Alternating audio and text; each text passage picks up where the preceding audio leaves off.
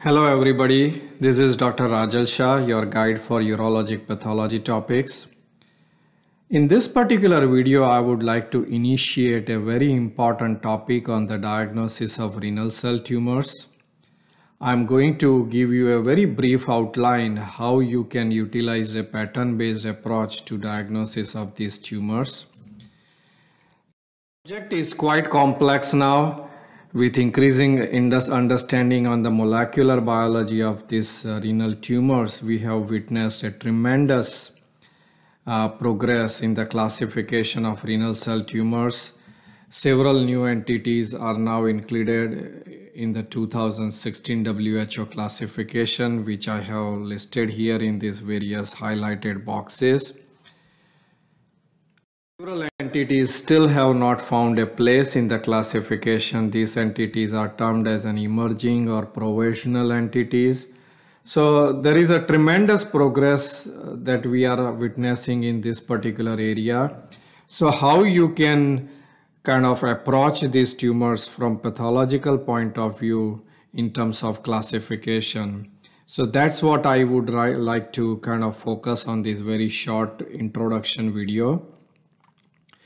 There are six different patterns that you can identify in renal cell tumors. The most common of them is tumor showing clear cell cytoplasm.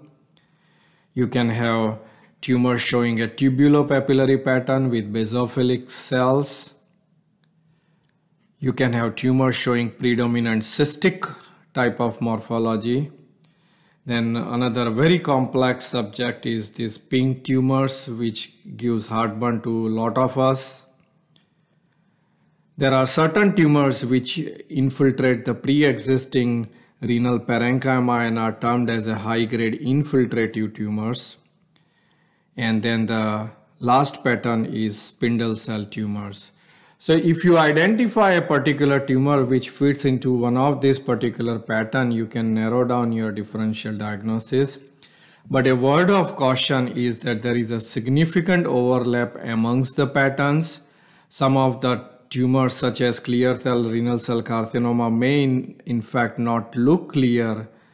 It may fall within a pink tumors category, but overall you can put tumors into one of these six buckets. So let's review some of these entities within each of these uh, pattern. Tumors showing clear cells cytoplasm, your most common entity and the most important one to recognize is clear cell renal cell carcinoma. You can have chromophobe renal cell carcinoma classic variant New entity is clear cell papillary renal cell carcinoma. Then another now entity which we have witnessed a tremendous progress is uh, translocation renal cell carcinoma, which is also termed as a MIT family translocation RCC. And then provisional emerging entity is renal cell carcinoma with leiomyomatous I have put a separate video on this particular entity highlighting some of our work. So I would encourage you to check out on that particular video. Our next entity is tubulopapillary morphology with basophilic cytoplasm and one of the benign spectrum includes metanephric adenoma. Within the malignant spectrum, you have papillary renal cell carcinoma with solid and so-called type 1 morphology mucinous tubular and spindle cell carcinoma. This is relatively very uncommon rare subtype. Then you can have adults, uh, adult Wilms tumor, which is epithelial predominant type. And then don't forget that sometimes metastatic adenocarcinoma can also present with similar morphology. Within the cystic tumors, you have multilocular cystic nephroma and closely related mixed epithelial and stromal tumor. Um, multilocular cystic neoplasm of low malignant potential.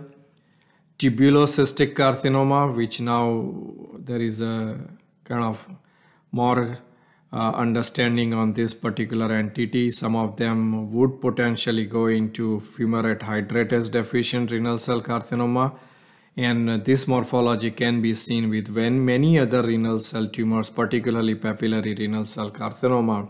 So I am definitely talking more of a pure entity as for the classification within this particular pattern. And then you can have cystic partially differentiated nephroblastoma. Within pink tumors, there is a whole lot of entities that can be considered in the, in the differential diagnosis. Your prototypical entity is oncocytoma, which if correctly diagnosed is a benign entity. You can have chromophobe renal cell carcinoma eosinophilic variant. When tumor shows atypia which exceeds of oncocytoma but does not reach the full threshold to classify as a renal cell carcinoma, there is often now a uh, term that is utilized which is called renal oncocytic neoplasm of low malignant potential. This entity still has not officially been recognized in the 2016 WHO classification, but many of us utilize this term to classify some of these borderline tumors. And then as I mentioned, many of these so-called clear cell renal cell carcinoma can actually present with pink cytoplasm. You can have papillary renal cell carcinoma oncocytic type, uh, acquired cystic disease associated renal cell carcinoma which typically occur in end stage renal kidneys on patient on dialysis. Then certain spectrum of translocation renal cell carcinoma can present with a very pink morphology. Uh, newly described entity includes succinate dehydrogenase deficient renal cell carcinoma and then you can have angiomyolipoma which can also show you prominent oncocytic morphology. High grade infiltrative tumors include urothelial carcinoma. This uh, next is a somewhat vanishing entity collecting duct carcinoma, medullary carcinoma, fumarate hydratase deficient renal cell carcinoma, and then of course you also have to keep a metastatic carcinoma to the kidney in your differential diagnosis when you deal with this kind of high grade infiltrative tumors. And the last category is the spindle cell tumors. Within uh, this spindle cell tumors, always keep angiomyolipoma in your differential if the tumor is obviously malignant, then of course renal cell carcinoma with sarcomatoid differentiation, leiomyosarcoma and other sarcomas would come uh, an important differential diagnosis. So this is a very brief outline of these six patterns and entities that fall within these six patterns. And uh, to keep uh, important uh, take-home messages, that uh, if you utilize this a pattern based approach then it will provide you a conceptual framework to work up and resolve an increasingly complex landscape of renal tumors.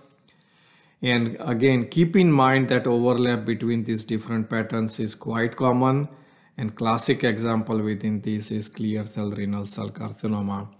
So i will put a second video shortly which will be focusing on the clear cell renal cell tumors and again i will as uh, time goes on i will start putting more these pattern based different uh, uh, uh, approaches for renal cell tumors uh, classification. So please watch out for this. With that hope thank you for your attention. If you like this video please give me a thumbs up. And uh, look forward my more videos. Thank you